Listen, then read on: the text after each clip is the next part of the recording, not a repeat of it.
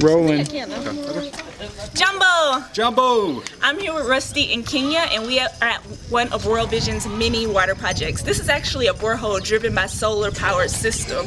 This particular water project is providing over 2,000 people in this village with clean water. Guys, this is why we do the 6K right here, for this water.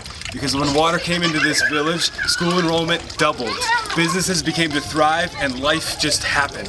So we hope you sign up for the 6K. We hope you fundraise, we hope you invite your friends, because it is going to be amazing, and I can tell you from being here in person, it is it. So, tutu onana! Tutu nana.